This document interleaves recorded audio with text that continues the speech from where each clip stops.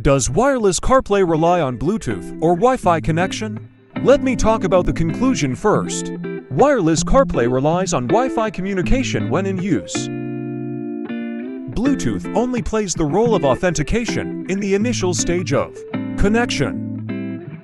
Once connected, no need for Bluetooth. After the Bluetooth is paired with the car, the Wi-Fi certificate will be sent to the iPhone and the Wi-Fi connection will be established automatically. The role of Bluetooth is over. At this time, even if the Bluetooth is disconnected, CarPlay can still be used normally, but it cannot be disconnected from the Wi-Fi.